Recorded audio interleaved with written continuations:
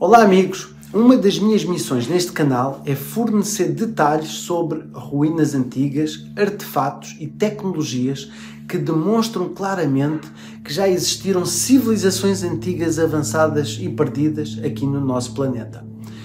Eu sei que para tal a minha dinâmica de pesquisa é super importante e que estes vídeos são sempre baseados no que eu pessoalmente procuro confirmar como realidades inegáveis antes de compartilhar. Eu não apenas ofereço um arsenal intelectual para você, que muitas vezes é confrontado com teorias académicas desatualizadas, mas permitindo o seu empoderamento para corrigir académicos, muitas vezes obrigados a transmitir outras informações e orientações em face de provas que não se enquadram dentro da história tradicional ensinada nas escolas. Como tal, sinto que é crucial que não apenas os factos que compartilho aqui tenham provas estabelecidas, mas que também faça você pensar e tirar as suas próprias conclusões. Muitos pesquisadores independentes partilham que as suas próprias pesquisas controversas em público e às vezes incluindo os próprios detalhes das, das expedições que fazem, raramente são encontradas online. Também académicos em posições de tremenda influência pública que não apenas compartilham a minha visão de que grande parte da história atualmente eh, que está sendo ensinada às gerações futuras não é apenas imprecisa, mas que também é baseada em uma conspiração para ocultar civilizações passadas. Só que eles têm medo de perder os seus empregos, o seu futuro e de virem a público dar a sua visão dos factos. Seja como for, o assunto de hoje é sobre algo descoberto na China. Algo tão espetacular que aumenta ainda mais o mistério sobre as civilizações antigas. E o que eu estou a falar é do mapa estelar Dunhuang, meu nome é Rulo Divino e seja bem-vindo ao canal Curiosidades Ocultas. Já agora, você sabia que damos prémios aqui todas as semanas no nosso canal? Então, subscreva o nosso canal ativando todas as notificações e serás avisado dos prémios que damos aqui todas as semanas. E no final do vídeo eu irei, eu irei dar todos os pormenores de como podes ganhar dinheiro através do nosso canal. Então vamos lá.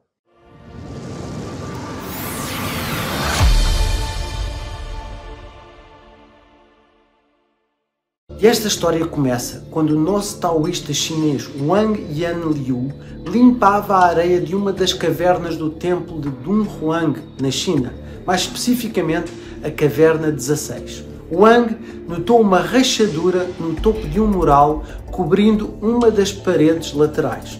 Pensando que talvez houvesse outro quarto atrás do mural rachado, Wang atravessou a parede e fez uma descoberta incrível numa antecâmara apertada, mal o grande para o suficiente dois homens ficarem de pé, empilhavam-se mais de 40 mil sutras budistas, textos confucionistas, registros governamentais, obras de ficção e tapeçarias e estandartes religiosos, todos intocados por quase mil anos. Como Wang era analfabeto, ele não conseguia distinguir o conteúdo de um pergaminho do outro pequeno impedimento, no entanto, não impediria Wang de ir buscar a sua própria interpretação do valor deste tesouro de manuscritos há muito esquecido. Nos sete anos seguintes, Wang selecionou cuidadosamente os mais completos e mais bonitos uh, documentos e os enviou como presentes para oficiais chineses em cidades e estados vizinhos. A sua esperança era que estes cavalheiros confucionistas, altamente educados, expressassem a sua gratidão em dinheiro para que ele pudesse continuar a recuperar o seu templo. Mas infelizmente, apesar das inúmeras prendas, nunca recebeu um centavo, nem sequer levantou qualquer interesse de onde esses manuscritos vieram. Foi somente em 1907 que Aurel Stein no meio da sua segunda exposição ao longo da antiga Rota da Seda, decidiu visitar pessoalmente as cavernas dos Mil Budas. Stein, aproveitando-se do analfabetismo de Wang, comprou cerca de 10 mil manuscritos por uma quantia que fariam os nossos amigos do Museu Britânico rir, escreveu ele mais tarde. E entre esses milhares de manuscritos estava o mapa estelar de Dunhuang Este mapa é a primeira representação gráfica precisa de localizações de estrelas dentro da antiga astronomia chinesa, com quase todas as estrelas do, átomo, do Atlas estelar. Mas como é que os chineses conseguiram fazer isso? Uma das primeiras menções públicas do mapa estelar em estudos ocidentais foi da versão de Joseph Needham no livro de 1959 Ciência e Civilização na China. No entanto, desde aquela época, por incrível que pareça, apenas algumas publicações foram convenientemente dedicadas ao mapa, quase todas sendo publicações chinesas. Este mapa foi feito por, por volta do ano 700, mas o que alguns especialistas determinaram é que este mapa não é o original. É apenas uma cópia do mapa bem mais antigo. Sabe, devido aos entendimentos académicos, atualmente atestados da história, mapas estelares antigos com tal precisão e alcance seriam impossíveis de se fazer naqueles dias. Ninguém simplesmente tinha tal conhecimento e muito menos serem capazes de ilustrá-lo com precisão num pergaminho. De acordo com a Academia Moderna, ele é datado da, da dinastia Tang, entre 618 e 907, mas parece que na verdade é uma cópia de uma versão muito anterior, de uma civilização muito anterior e muito mais capaz. Antes deste mapa, muitas das informações estelares mencionadas nos textos históricos chineses eram drasticamente imprecisas. No entanto, de repente, este mapa fornece uma verificação graficamente precisa das observações estelares. Infelizmente, parece, no entanto, que numa tentativa de saciar a curiosidade de pessoas como nós, um financiamento considerável foi canalizado para construir uma desculpa para a sua existência foi criado um projeto de pesquisa conhecido como o Projeto Internacional de Dunhan e que ficou com acesso exclusivo aos mapas. Assim, só os académicos deste projeto os podem analisar. Talvez seja uma tentativa de minimizar a sua importância.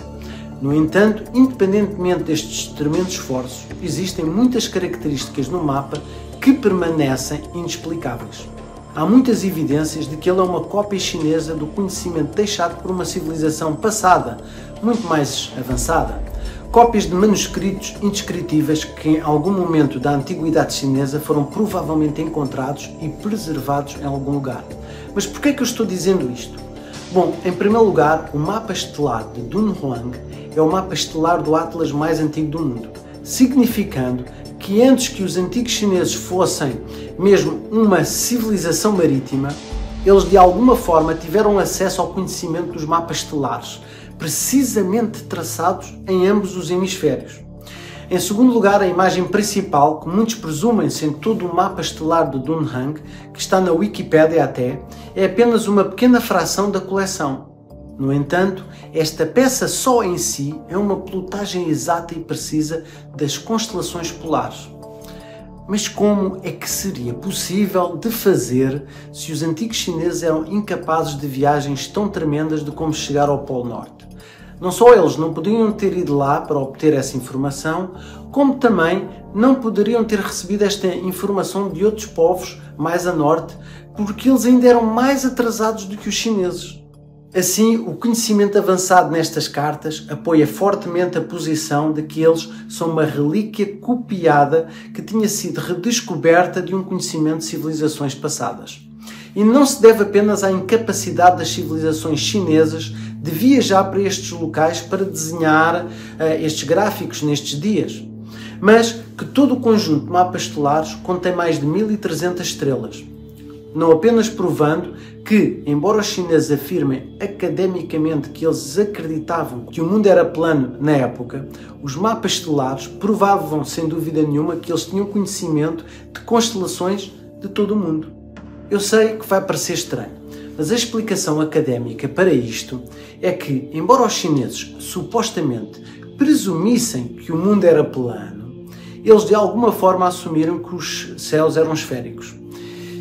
É por isso que muitos especialistas acreditam que, devido ao conhecimento aprofundado e preciso apresentado nestes mapas estelares, conhecimentos tais que estavam muito longe do alcance das capacidades de observação dessas civilizações antigas, é uma prova clara de que eles descobriram os mapas deixados por uma civilização que não era apenas marítima, mas planetária.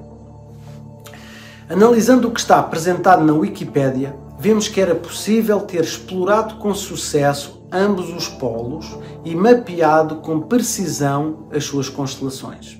Então, como é que os antigos chineses tinham conhecimento tão profundo de tantas constelações? E especialmente das constelações polares. Será possível que os chineses eram muito mais avançados do que a história registada conta? Ou será que realmente os especialistas não ortodoxos têm a razão e os dados foram obtidos de civilizações muito mais antigas das quais nós não temos qualquer registro? Ou será possível que, tal como os defensores da teoria dos astronautas antigos, esta informação foi passada pelos deuses do espaço? É algo para se pensar. Fique ligado aqui no canal que sempre que houver descobertas iremos partilhar consigo, ok? E aí, gostou? Misterioso, não é? Então não se esqueça que também damos dinheiro todas as semanas aqui no canal Curiosidades Ocultas. Por isso, subscreva o canal para poder ganhar ativando o sininho. E já agora, partilhe connosco que outros temas gostaria que nós abordássemos no canal, porque a sua opinião é super importante para nós. Também, por favor, ajude o nosso canal para podermos continuar criando conteúdos de qualidade e curta o vídeo. Você vai simplesmente adorar os vídeos e prémios que damos aqui referentes aos vídeos de terça-feira. Veja na página sobre do nosso canal onde tem todas as regras e o funcionamento dos nossos concursos. Espero que ganhe e boa sorte!